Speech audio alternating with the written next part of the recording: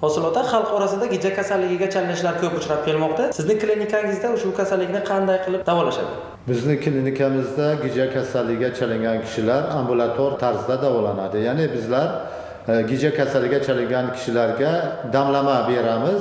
Shu damlamani bir choy qoshiqdan katta kishilar har kuni bir choy qoshiqdan damlab ichadi. Uch to'rt martaga ichadi ovqatdan bir soat oldin. Va oydan oyga oydan oyga gijasi yo'qoladi to'liq sog'ayadi. Albatta xalqimiz orasida gija kasalligiga yo'liqqanlar juda ko'p. Bizlar gija kasalligini davolash uchun bemorlarimizga mana shu damlamani tavsiya qilamiz. Ushbu damlama gijani yetti turiga davo ya'ni mana shu bitta damlamani o'zi bilan yetti xil gija davolanadi. Yetti xil gijadan bemor shifo topadi. Ovqatdan bir soat oldin kuniga uch mahal va yana uyqudan oldin bir mahal. Mana shu damlama choydan ichib turish kerak. Biz aytgan miqdorga biz aytgan tarzda ichib turish kerak bo'ladi.